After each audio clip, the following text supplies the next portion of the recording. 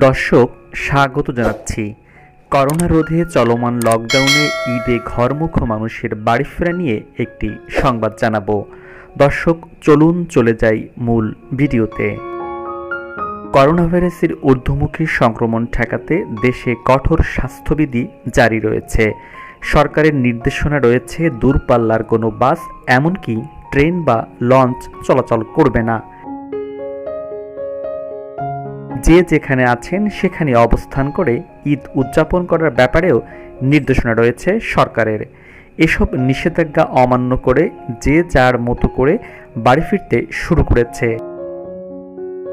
দূরপাল্লার গাড়ি না চলায় অনেকে ভেঙে ভেঙে গন্তব্যে পৌঁছার জন্য ভিড় করেছে। শুক্রবার ছুটির দিনে বাড়ি ফেরা মানুষের উপচে পড়া ভিড় লেগে যায়। ফেরিতে মানুষ পারাপারের দৃশ্য আতঙ্ক ছড়িয়ে দেয় করোনার। এমনকি কোনো কোনো ফেরিতে গাড়ি পর্যন্ত জায়গা পায়নি মানুষের ভিড়ের জন্য।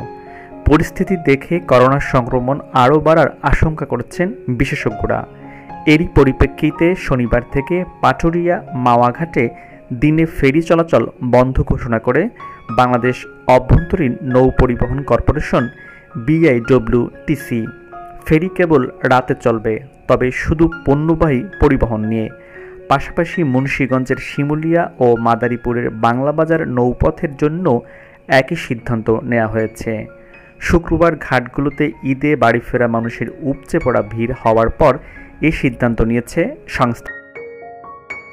শনিবার আট মে রাত সাড়ে বারোটার দিকে বিআইডব্লিউটিসির চেয়ারম্যান মোহাম্মদ তাজুল ইসলাম বিষয়টি গণমাধ্যমে নিশ্চিত করেছেন। ক্ষেত্রে শনিবার থেকে ফেরিতে কোনো যাত্রী পারাপার হতে পারবেন না।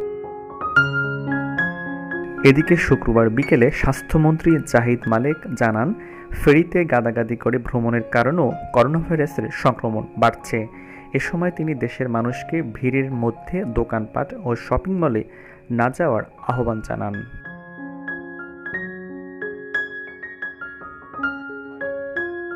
দর্শক করোনা ভাইরাস ঠেকাতে আসুন কঠোর লকডাউন মেনে চলি। স্বাস্থ্যবিধি মেনে সবার জীবন বাঁচাই। ভালো থাকুন সুস্থ থাকুন নিরাপদে থাকুন সাথেই থাকুন।